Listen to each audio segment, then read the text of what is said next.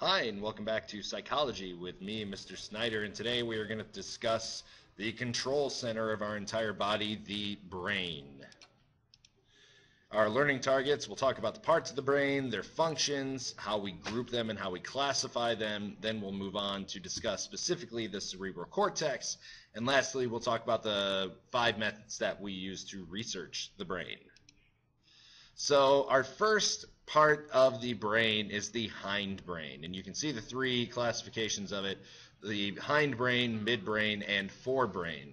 The parts of the hindbrain, you, if you think of it from an evolution standpoint, in, uh, evolved first. So these are our most basic bodily functions. The medulla here uh, on the brainstem is involved in a person's heart rate, blood pressure, and breathing. The pons, the part above the medulla on the brain stem, regulates body movement, attention, sleep, and alertness. And some of these things, they work together. And then the cerebellum is on the back of the brain. It literally means little brain. It is involved in a person's balance and coordination. So if any of these person, if these things were damaged, or if a person gets hit in the back of the head, it's very serious because it could damage these and threaten the person's life. The midbrain, we're only going to be talking about one part of the midbrain, uh, but it's involved with vision and hearing, and it's called the reticular activating system. This is what gets your attention if uh, you need to wake up out of a sleep or if you need to focus on something. Uh, it increases your heart rate, your blood pressure, and your brain activity. It wakes you up. Uh, it arouses you from slumber or from inattention. That's the reticular activating system. The forebrain are where most of the parts are, and that's where we're going to focus. The forebrain is where complex thinking processes take place.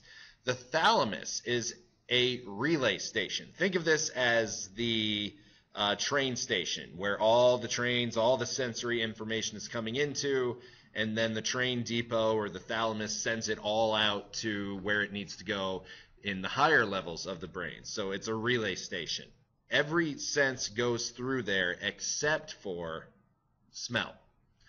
The hypothalamus, hypo means under, it's a very small thing located under the thalamus, but it's very, very important. It regulates uh, body temperature, the storage of nutrients. Uh, it's involved in motivation and emotion, hunger, thirst, sexual behavior, uh, caring for your offspring, and aggression. So it's it's a very, very primitive part of the brain, but it's very important in some of our most basic functions. The limbic system in the brain is kind of around the brain stem area toward the back, and it's involved in learning and memory. Uh, also plays a role in emotion, hunger, sex, and aggression.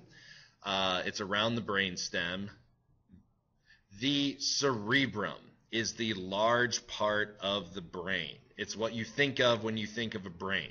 It makes up about 70% of the brain's weight, and it's where our most conscious and intellectual activities take place. And the surface is covered in wrinkles and edges so that you can pack more neurons into the area. And that area, that outer core, is called the cerebral cortex, cortex being the Latin for bark. This is the part that thinks in us, and it deals with planning, memory, language, complex emotional skills, and complex motor skills, uh, the perception of our sensations that our uh, sensory neurons take in. This is all done in the cerebral cortex, and it's the outer layer of the cerebrum, and it was probably the last to develop evolution-wise. That's why it's the most high-functioning part that we have. So here's a look at all of those uh, things that we talked about. The pituitary gland also in there. The master gland basically controls your growth. Um, but that is what the brain looks like, and there's all of the parts. We'll talk about the corpus callosum here in a little bit. Here, let's divide up the cerebral cortex into different parts. The cerebral cortex has a left side and a right side. We call each side a hemisphere. The corpus callosum is the band of fibers that connects the two hemispheres. So it's two connecting hemispheres with a band of fibers in between them connecting them. Here's something else that's important to know. Information received by one side of the body is transmitted to the opposite hemisphere of the brain. So if you touch something with your right hand, that is transferred to the left side of your brain. Each hemisphere, as you can see, is divided into four parts. We have your frontal lobe, and this is the large part in front. This is where your decision making, planning, problem solving, movement, all of that stuff happens. Your parietal lobe is right behind your frontal lobe, and that is what integrates all of your sensory information. And so your uh, parietal lobe can be divided up into motor cortex or your primary motor cortex and your primary somasensory cortex. The temporal lobe on your temples right here are next to your ears. That is where hearing and auditory information is processed. And the occipital lobe doesn't make any sense, but it's in the back of your head. So sometimes if you get hit in the head or in the back of the head especially, you see stars. That's because your occipital lobe has been a little bit damaged. And that is in the back of your head. Uh, here you can see the motor and somasensory cortexes. Uh, basically, these are the parts of that cortex that control each body part. So in your motor cortex, you have uh, wrist, fingers, thumb, neck, brow, eye, face, lips. These are your movements, but then your somasensory are um, hand, fingers, thumb, also eye, nose, face, stuff like that. Just different areas of the brain uh, do different things. And we know that we can stimulate electrically people's brains and watch them move different parts of their body. So that's how we know that this part of the brain does different things. Association areas of this cerebral cortex shape information into something meaningful.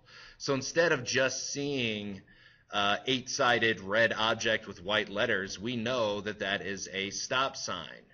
This is the brain's executive center, and these association areas also provide the core of our working memory or our short term memory. This is where we store stuff that we're thinking about. Uh, the frontal region of the brain then retrieves this uh, visual, auditory, and other kinds of memories from our frontal lobe. Other association areas in the frontal lobe make it possible for language to happen. Language abilities in the brain for nearly all right-handed people, language functions are based in the left hemisphere. And also about two out of every three left-handed people, it's also based in the left hemisphere. That's where all of your language and your thinking and your planning takes place in the left hemisphere. Wernicke's area and Broca's area are two places involved in our speech and our hearing. So Wernicke's area connects sights and sounds together. If a person has their Wernicke's area damaged, people find it difficult to understand speech. They may be able to speak fine, but they won't be able to understand you. Broca's area is involved in speech. With when this area is damaged, people speak slowly and use very simple sentences. They may be able to hear you fine, but if they speak, they will have trouble speaking. Left brain versus right brains people, the left brain is where our logic and science and math and all of this uh, higher order thinking skills happen. Uh, the right hemisphere is more concerned with a person's imagination, art, creativity, feelings, spatial relations. This is kind of an oversimplification of the idea. Both brain parts are uh, involved in each both parts of the brain are involved in creativity, in logic, but more so they, they just tend to have different specializations. But uh, split brain operations, where they actually have to sever the corpus callosum between the two brains, teach psychologists a lot of what they know about this left and right hemisphere functioning.